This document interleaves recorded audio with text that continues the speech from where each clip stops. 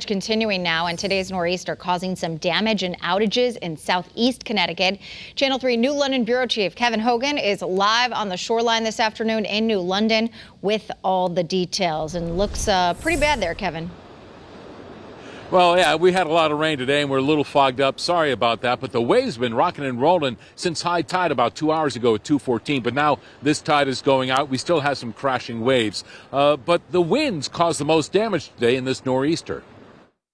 Winds tore down a giant oak across the post road in East Lyme this afternoon. It appears the rain softened the ground and then uprooted the tree. The power lines were spared. But that's not the case in Deep River, where a tree took out the power lines on Westbrook Road just after 9 o'clock this morning, throwing neighbors off the grid. I was out. I know. That's what I'm scared of, the power being out. It's supposed to be worse later on tonight. I know that dead tree is going to fall. So if they fix the wires, so what you're not seeing right now here on the shoreline in New London are ferry service. There is Fisher Island ferry today, but Fisher Island is going to be uh, postponed tomorrow morning for the first two runs. We'll have more on that at Eyewitness News at 5.